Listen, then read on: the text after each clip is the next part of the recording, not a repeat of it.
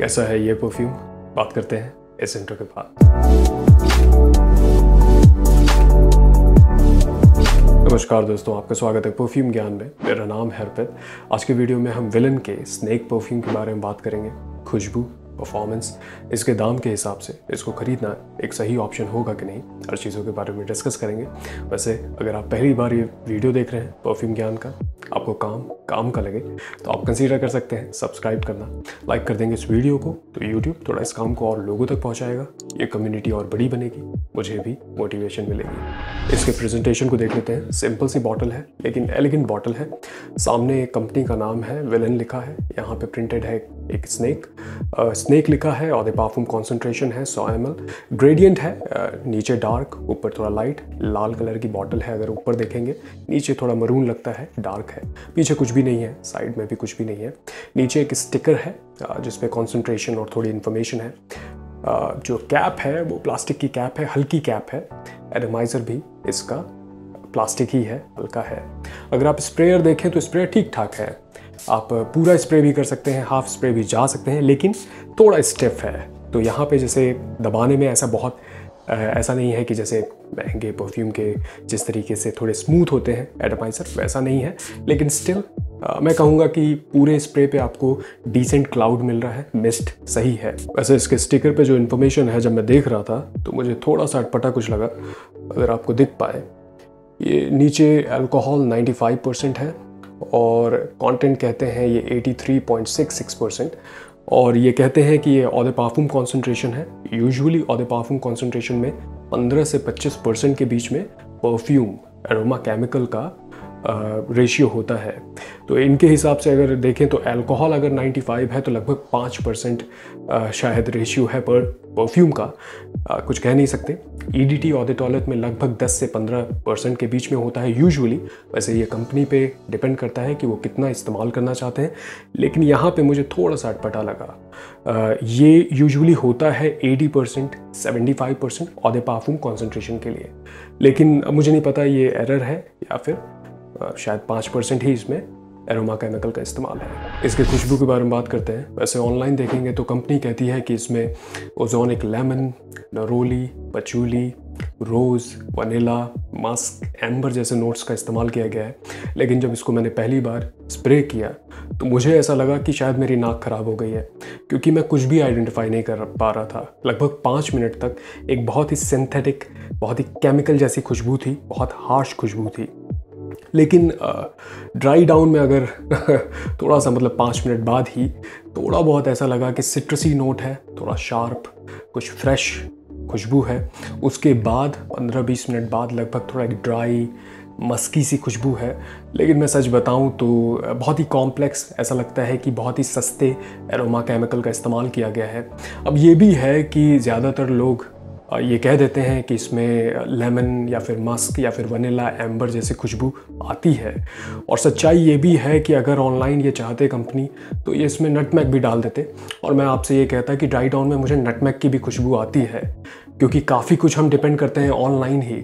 अगर मुझे नटमैग दे दिया जाए अलग से, सिर्फ़ उसका एरोमा केमिकल तो शायद मैं नहीं बता पाऊँगा कि नटमैक है या सीडर वुड है।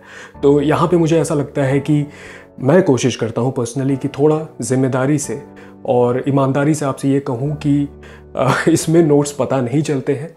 ये ओवरऑल मैं कहूँ तो एक सस्ती खुशबू है बहुत ही जेनेरिक सी खुशबू है। और ऐसी है कि जैसे किसी क्लीनर जैसी खुशबू है, कोई साफ़ करने वाले जो स्प्रेज आते हैं, वैसी केमिकल टाइप खुशबू है। देखिए, बुरी नहीं है। अगर आपके पास ये परफ्यूम है, आपको पसंद है तो उसमें कोई बुराई नहीं है।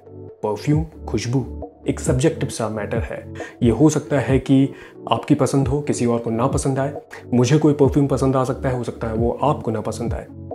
तो इसमें कोई बुराई नहीं है। वैसे यूजुअली आप किसी भी परफ्यूम के वेबसाइट पे देखेंगे तो बड़ी बड़ी बातें क्लेम की जाती हैं। मिस्टीरियस डार्क इंटेंस और मैस्कुलिन ऐसा लगता है सरकारों का मैनिफेस्टो है।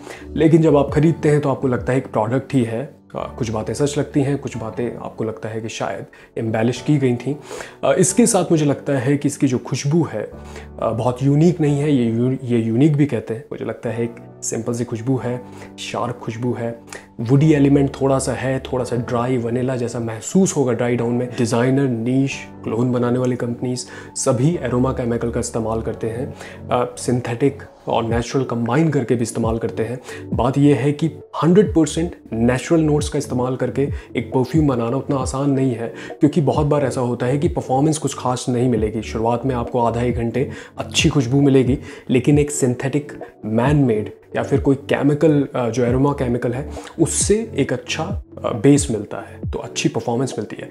यहाँ पे मुझे ऐसा लगता है कि काफ़ी सस्ते एरोमा केमिकल का इस्तेमाल किया गया है, क्योंकि ऑफ़ कोर्स मार्केटिंग में पे करना है, फिर ब्रांडिंग में पे करना है, फिर उसको डिस्ट्रीब्यूट करना है तो हर जगह खर्चा हो रहा है। तो मुझे पर्सनली ऐसा लगता है कि डाइल्यूट करके बहुत सस्ते एरोमा केमिकल को ये परफ्यूम बनाया गया है।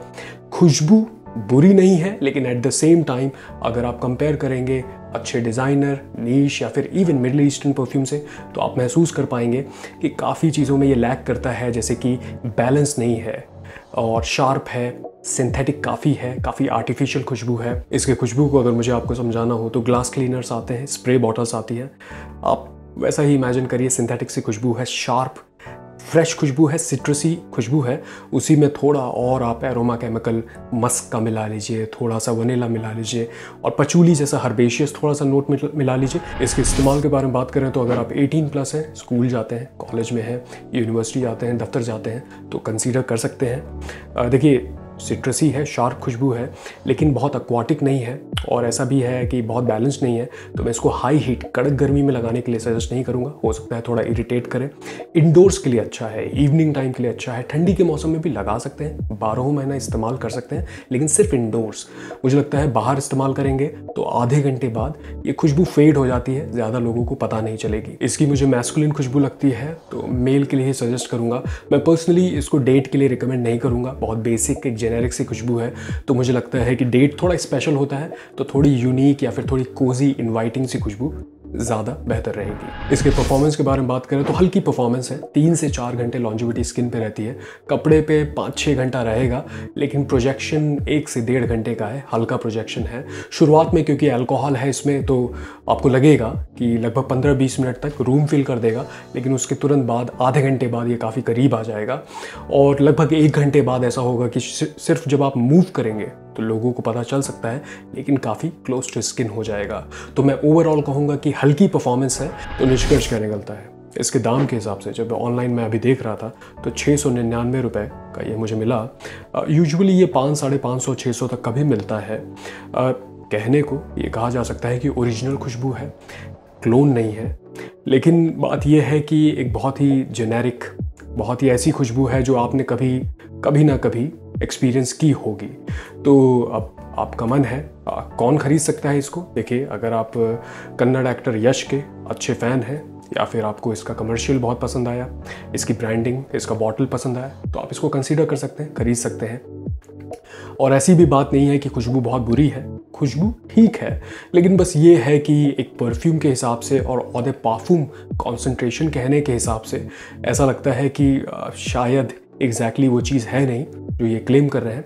लेकिन मर्ज़ी है, अगर आप ट्राई करना चाहें तो शायद इसके डी कैंस छोटे भी आते हैं, बीस एम भी आता है, खरीद के देख सकते हैं। मैं बेशक सात सौ रुपये का तो रिकमेंड नहीं करूँगा। डील पे कभी मिल जाए, पाँच सौ, साढ़े चार सौ तो कंसीडर कर सकते हैं। आपका चॉइस है, मैं पर्सनली रिकमेंड नहीं करूँगा इस परफ्यूम को, क्योंकि मुझे काफ़ी बेसिक लगता है। और एक बार इस वीडियो को ख़त्म करने से पहले मैं कहना चाहता हूँ, अगर आपको इसकी खुशबू पसंद है तो उसमें कोई बुराई नहीं है। आप इसको कंसीडर भी कर सकते हैं किसी को गिफ्ट देने के लिए। प्रेजेंटेशन बॉटल अच्छी है और खुशबू सब्जेक्टिव चीज़ है। अगर आपको पसंद है तो अच्छी बात है, आप इसको इन्जॉय करिए। और अगर आपने इस्तेमाल किया है तो मुझे कॉमेंट में बताइए, आपको कैसा लगता है ये परफ्यूम चलिए, मैं मिलूँगा आपसे अगले वीडियो में, तब तक आप अपना ख्याल रखिए। नमस्कार।